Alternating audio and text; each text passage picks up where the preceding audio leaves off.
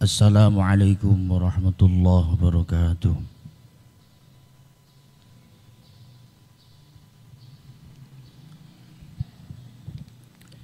Bismillahirrahmanirrahim.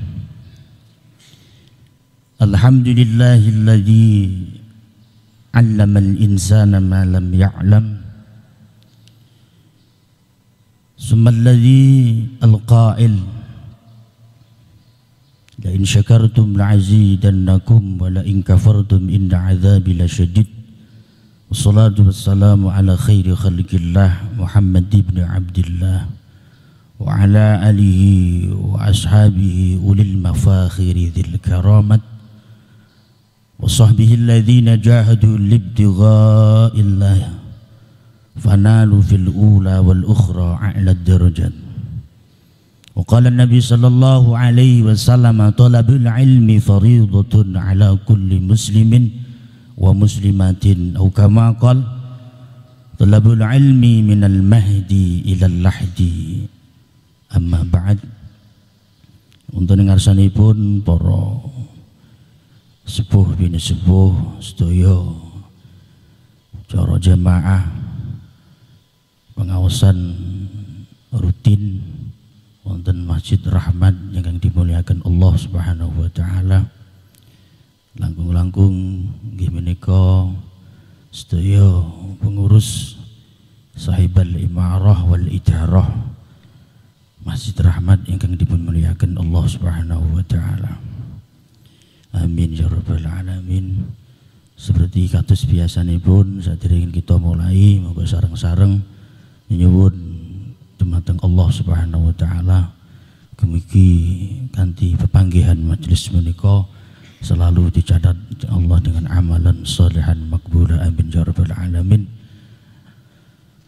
Qala al-mu'allif rahimallahu ta'ala nafa'na bihi wa bi'ulum fid darin. Amin. Wa ila ruhi asy-syekh Abdul Rahman Abi Bakr As-Suyuti Asy-Syafi'i sahib al-mu'allif hadzal kitab المسمى بأشباه والنظائر في قواعد الفقهية. لهم الفاتحة. أعوذ بالله من الشيطان الرجيم. بسم الله الرحمن الرحيم. الحمد لله رب العالمين. الرحمن الرحيم. مالك يوم الدين. إياك نعبد وإياك نستعين. الصراط المستقيم.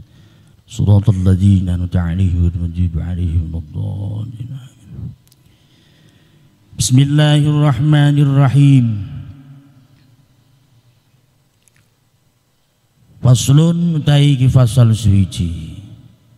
Sifatnya faslun ay hadza faslun ikilah fasal yang menguatkan tentang daripada pembahasan ilmu ilmu politik hukum syariah. Artinya asbah wan nadhair itu pedoman daripada untuk memutuskan suatu perkara yang ada kaitannya dengan syariat. Jadi asbah wa nadhair yang dinamakan kitab Qawaidul Fiqhiyah itu adalah ilmu-ilmu akdiyah, putusan-putusan tentang hukum yang ada atau hukum yang berlaku pada ketentuan-ketentuan hidup yang di bawah naungan syariat. Ilam ketahuilah bahwa anna fanal asbah wan nadhair itu fannun azimun yaitu fan bidang yang sangat amat besar sekali dalam segi pembahasannya. Katus kemarin di dalam ilmu qaidil fikih ku tidak lepas dengan beberapa kaidah-kaidah yang kemarin kula sebataken wonten kaidah al-umur bil maqasid wonten kaidah al yakin la yuzalu. Wonten kaidah al adat muhakkamah. Wonten kaidah ad-darur yuzalu. Nah, ini dikupas pembahasan-pembahasan atawi hikmah daripada qaidul fikih yang pertama saya bahas penjabarannya dalam kaidah al-umur bimaqasidiha. Bisa dikatakan kaidah kulli yang sifatnya umum. Kaidah al-umur bimaqasidiha adalah segala perkara atau perbuatan tergantung pada tujuan, tujuannya atau niatnya. Maka dalam hadis innamal a'malu binniat. Nah, kembali temuriku. Lah, pengertian kaidah terus. Pengertiannya kaidah dari kaidah di atas tersebut al umur bil maqasid niku bahwa setiap amal perbuatan baik dalam hubungan seseorang kepada al khaliq ke Allah maupun kepada sesama makhluk al makhluk maka nilainya ditentukan oleh niat serta tujuan melakukannya dalam perbuatan ibadah yang berhubungan kepada Allah niat itu merupakan rukun sehingga menentukan sah atau tidaknya suatu pekerjaan, amal. Sedangkan dalam perbuatan yang ada hubungannya dengan sesama makhluk seperti muamalah, jual beli, munakahah, pernikahan, jinayah, ketentuan tindak pidana. Jadi kitab Qaidul Fikih ini meliputi wonten sing bagian tindak pidana nggih bagaimana hukumnya orang zina dan ini dikupas dan sebagainya maka niat merupakan penentu apakah perbuatan perbuatan tersebut mempunyai nilai ibadah ataukah sebaliknya? Ini yang dimaksud dari kaidah al-umur bimaqasidiha dasarnya apa? Allah berfirman dalam surat Ali Imran ayat 145 A'udzu billahi minasyaitonir rajim. Wa may yurid sawabad dunya nu'tihi minha wa may yurid sawabal akhirati nu'tihi minha wa sayajzis syakirin. Wa man untai sapa wong yurid ingkang ngersake dikersake siman sawabat dunya ing pahala daripada urusan duniawi nuktihi yang digapai maka ya urusan duniawi. Tapi sebaliknya barang siapa memantai sapa wonge yurid ing sake siman sawabal akhirat hanya pahala akhirat saja nuktihi minha. Maka yang digapai juga harapan daripada akhirat itu. Wasaya jadi syakirin. Dan Allah akan membalas pada mereka-mereka yang bersyukur. Yang artinya Barang siapa menghendaki berniat mendapatkan pahala dunia materi niscaya kami berikan kepadanya pahala dunia itu dan barang siapa menghendaki pahala akhirat maka kami berikan pula kepadanya pahala akhirat itu dan kami akan membalas memberi balasan kepada mereka-mereka orang-orang yang bersyukur. Esensinya daripada firman Allah tadi dalam surat Al-Imran maksud dari ayat di atas tadi siapa pun yang berniat dalam beramal misalnya sholat, puasa, sedekat dan lain-lain untuk mencari kesenangan dunia, capaian dunia, mengumpulkan harta benda, memperoleh pujian dari makhluk, wis bendarani wong sing sugih. Ora nung sak sugih, wong sak kota coba kaji kai nah, itu. Jadi hanya sebatas dia memamerkan harta bendanya atau jerih payah usahanya memperoleh perujian dari makhluk saja maka nilainya hanya sebatas dunia saja. Dan sama sekali ia tidak memperoleh pahala dari Allah Subhanahu wa taala. Alasannya apa? Karena niat yang salah lain halnya dengan orang yang berniat dalam seluruhnya, seluruh amalnya semata-mata mengerjakan lillah karena Allah mengharapkan ganjaran dan ampunan maghfirah minallah maka niat dan amalannya tadi seperti inilah yang mendapatkan ganjaran yang azim yang besar.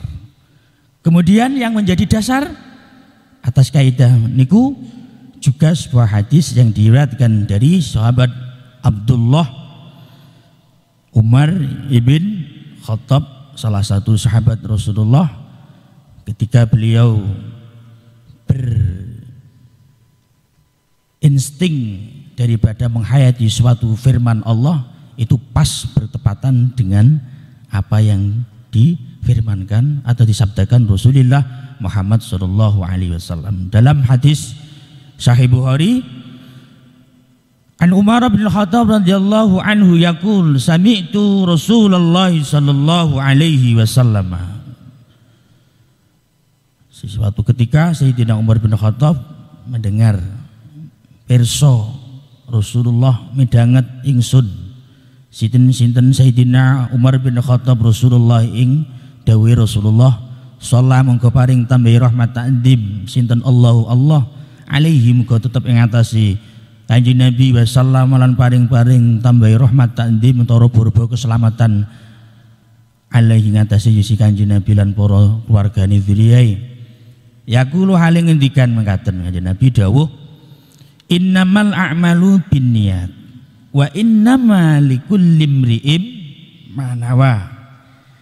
Innamal a'malu angin pemesine utawi asahe amal utawi innamal a'malu iku biniyati kelawan wah ini dasar niat yaitu maksud daripada tenggene manah ibun kembali ke kaidah al umur bimangko sidia sedangkan ada hadis yang meriwayatkan niatul mukmin khairun min amali yang dikeluarkan daripada oleh sahabat dari hadis yang diriwayatkan Sayyidina Ali bin Abi Talib wa Darukutni fi ghara'ibi Malikin.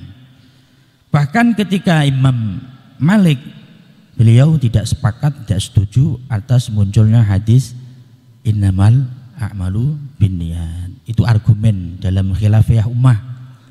Nah, itu ada dasar tertentu. Wa inna malikum linri'im lan angin pemestine saben-saben awa-awaan manawa apa yang kita niati disejoni faman kanat hijratuhu utai sapa wonge? Kanat iku si ana siman hijratuhu hijrah si wong illahi menuju Allah. Karena semata karena Allah wa rusulihi lan utusan Allah. Maka fa hijratuhu mengko hijrah si siman man salik ilallahi maring Allah wa rusulihi lan utusane Allah. Tapi kosok wangsulipun Wa man kana ta sapa wonge? Kanat ku ana siman hijratu ta hijrasi ya si wong ila dunya hanya sebatas gapayan duniawi saja isibuha mongko sing ngenani ing manha ing dunya niku wau aw imratin utawa aw man kana hijratuhu ila imraatin yatazawwaju ingkang ape di nikah abdi di garwa sapa yisi imrah niku wau maka fa hijratu mongko ta hijrah si wong ilamaha maring perkawis hajara kang hijrah yusi wong ilahi apa yang digapainya tadi. Kang Rasul mengatakan Sahabat Umar bin Khattab radhiyallahu anhu meriwayatkan sebuah hadis, hadis yang sahih. Aku mendengar Rasulullah Shallallahu alaihi wasallam bersabda, "Hanyalah dinilai suatu amalan itu tergantung dari poin niatnya dan seseorang hanya akan memperoleh apa yang ia niatkan.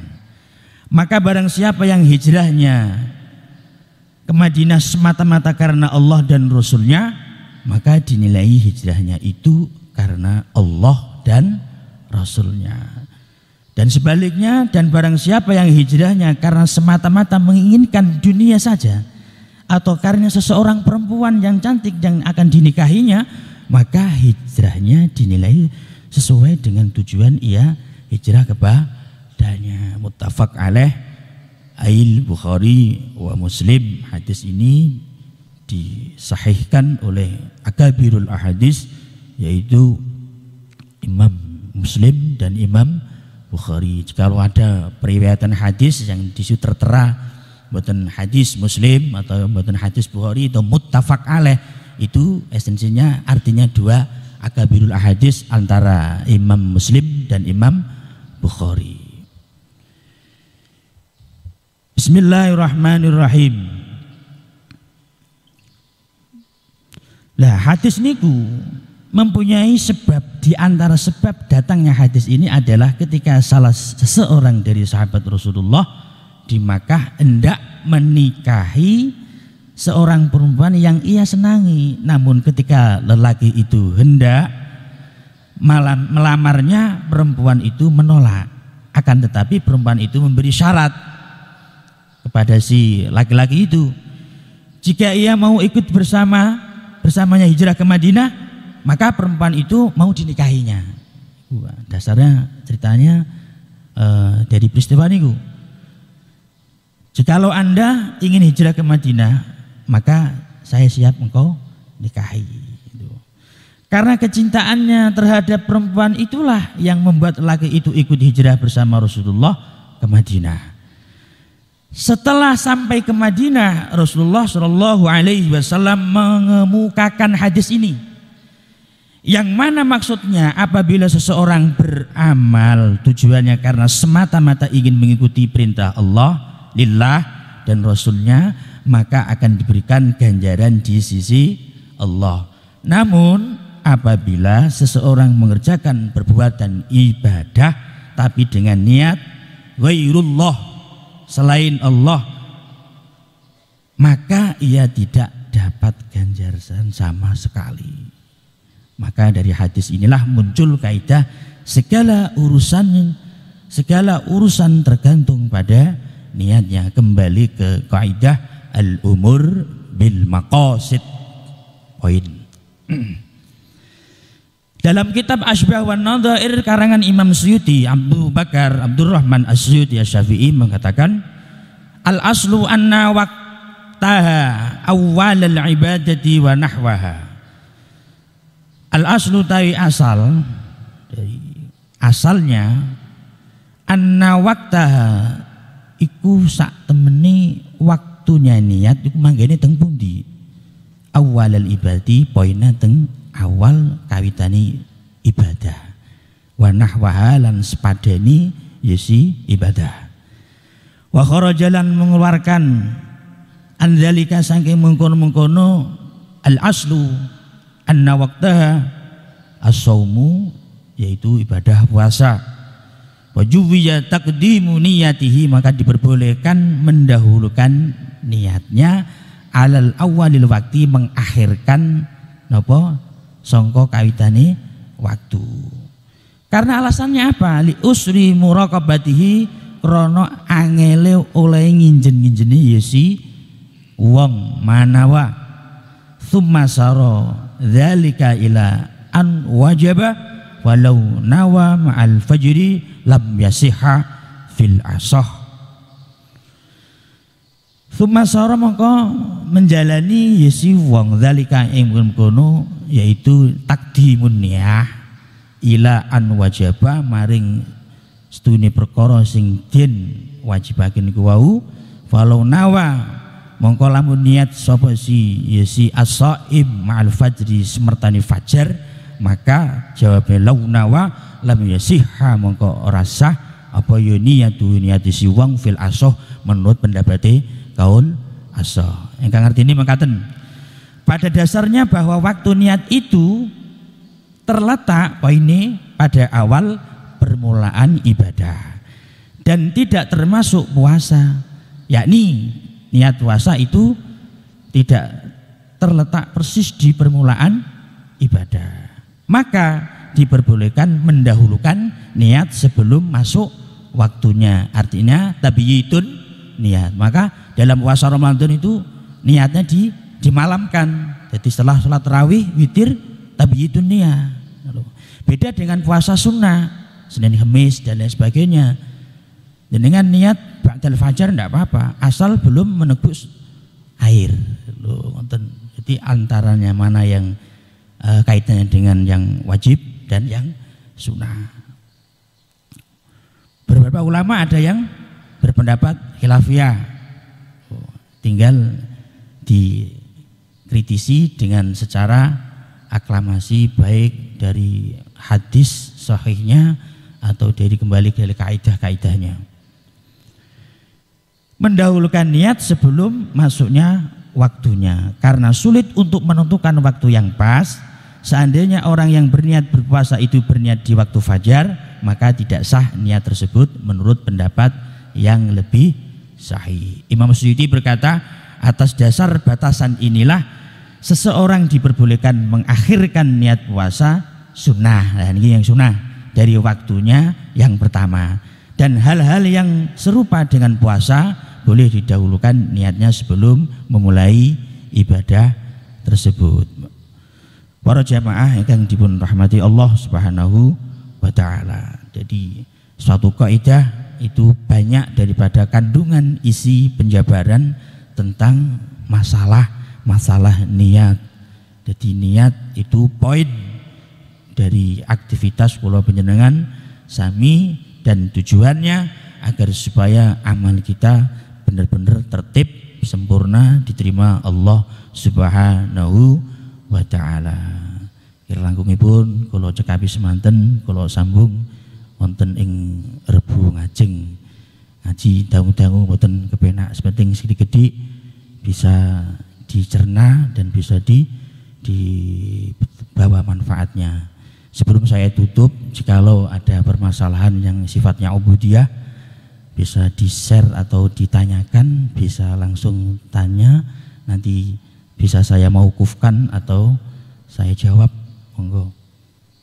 Maukuf artinya saya buat PR, jawabnya mungkin ngaji yang ke depan saya cari referensi-referensi beberapa kitab yang ada kaitannya dengan hukum-hukum agama atau hukum syarak. Kalau boten nggih kula tutup mawon. Monggo. Al-Fatihah. Bismillahirrahmanirrahim. Bismillahirrahmanirrahim. Alhamdulillahirabbil alamin arrahmanirrahim. اهدنا الصراط المستقيم صراط الذين أنعمت عليهم غير المغضوب عليهم ولا الضالين آمين بسم الله الرحمن الرحيم اللهم يا الله يا إلهنا أنت مقصودنا ورضاك مطلوبنا عدنا محبتك ومعرفتك اقضي حاجتنا وحاجاتكم من طلب العلم بالبراكة والمنافع في الدين والدنيا والآخرة اجعلنا الله يا إلهنا اجعلنا يا الله يا إلهنا اجعلنا يا الله يا إلهنا آه ولدا أولادنا يا الله ولدا صالح صالحة صالحين مطيعا برا لوالديهما يا الله برا لوالديهما يا الله واحتم لنا يا الله واحتم لنا يا الله واحتم لنا يا الله بحسن الخاتمة. ربنا هب لنا من أزواجنا وذريتنا قرة أعين واجعلنا للمتقين إماما. ربنا آتنا في الدنيا حسنة وفي الآخرة حسنة وقنا عذاب النار. في فضل سبحان ربك بالعزة أما يصفون سلام على المرسلين والحمد لله رب العالمين.